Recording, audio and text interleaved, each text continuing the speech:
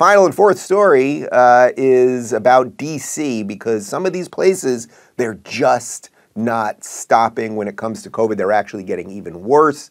Uh, this is a tweet from DC Mayor Bowser. She says, Remember that starting Saturday, you will need these three things before heading out proof of vaccination, 12 years or plus, uh, proof of vaccination and photo ID, 18 years and over, and a mask. Now, it's interesting the way she worded that to head out. She didn't say to go into government property. She didn't say to go into a restaurant. She said to head out, that you have to basically have your papers. That's what she's saying. We know none of this nonsense works. We know that the vaccines don't stop you from getting COVID. We know that the vaccines don't stop you from spreading COVID. Uh, we know that people are just not paying attention to these vaccines. We know that a higher percentage of black people have not been vaccinated. So is this racist? We also know that forcing someone to show a voter uh, some sort of photo ID, that's we're always told that's racist if you if you do it to make sure that people are voting as the person that they say they are. But somehow, uh, if you show a voter ID or a photo ID to walk into McDonald's, you have to prove that you're uh, vaccinated, but then you can eat the food that'll make you fat, which will make you even sicker if you get COVID. You guys get it yet? You get it yet? These people are just ridiculous. Oh, and of course, you know, number three there was the mask thing, and it's like they're telling us now that the masks don't even work. So now they've got everybody in N95, so you just can't breathe.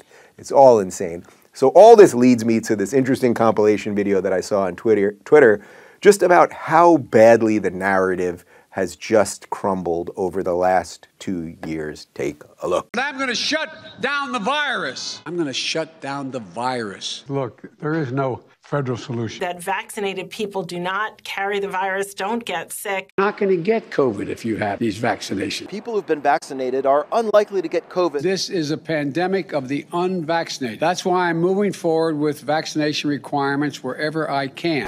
Breakthrough infections. More breakthrough cases of COVID 19. Fully vaccinated folks testing positive. That's going to be our new normal. It seems that more than half of the people in the UK with the variant have been double jabbed. Most are young people under 40 years old.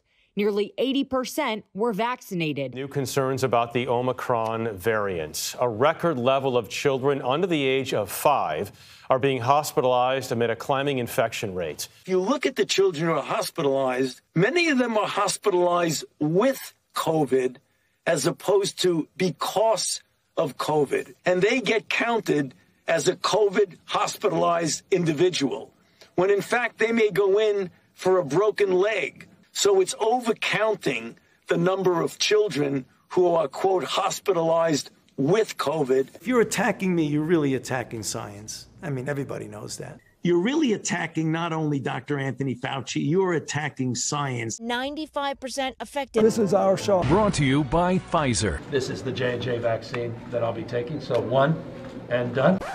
Americans will need a third shot. Fourth shot, another booster. Talk about people getting a fourth. Four. I thought we are just talking about three. So a fourth dose. We are looking forward to be able to vaccinate all these vulnerable people. Brought to you by Pfizer. You get it yet? Do you get it yet? I know you do, but maybe send that to some of your friends and family that do not get it yet. I will end by saying one last thing, which is that if you have stayed remotely sane, in the last two years, I applaud you.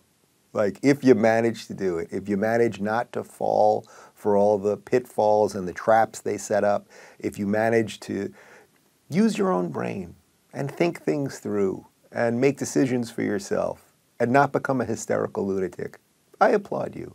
And I look forward to continuing our relationship as we blaze a trail to a freer, saner, and better America than, than we got right now.